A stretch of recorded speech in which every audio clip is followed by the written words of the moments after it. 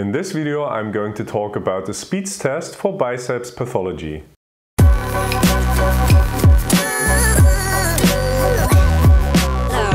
Get our very own assessment ebook and mobile app. Links are in the video description. Hi and welcome back to Physiotutors. Originally, the speeds test was designed to test for tenosynovitis of the long biceps tendon, but is now being used for several pathologies of the biceps. In their meta-analysis from 2012, Hegedus et al. found a sensitivity of 20% and a specificity of 78% for the speeds test in the detection of SLAP lesions in the shoulder.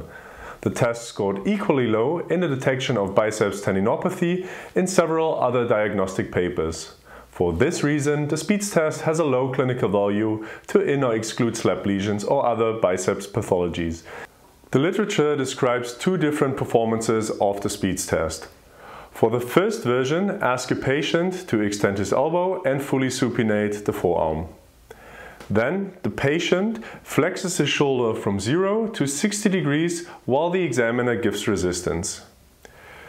This is probably how Spencer Speed discovered the test himself as he was experiencing pain in the shoulder when he was performing a straight leg raise test in his patients with an outstretched arm.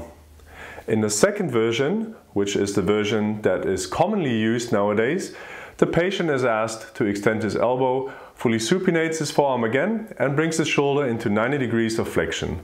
In this position, the patient is asked to resist downward pressure. When a patient's arm is placed in the examining position for the speeds test and downward pressure is applied, the biceps tendon acts like a suspensor cable from its insertion on the superior labrum to the arm.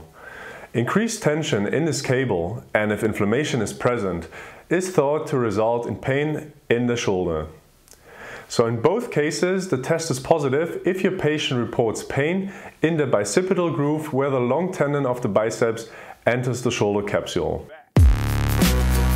Alright, this was our video on the speeds test. If you want to know a more accurate way of how to diagnose SLAP lesions, check out our video on the best test cluster for this pathology right next to me. Thanks a lot for watching. As always, feel free to click the like or share button if this video was helpful to you or drop us a comment. If you want to have all of our videos in one product, check out our book or mobile app in the description down below. You can find more info about us on our website or on other social media channels.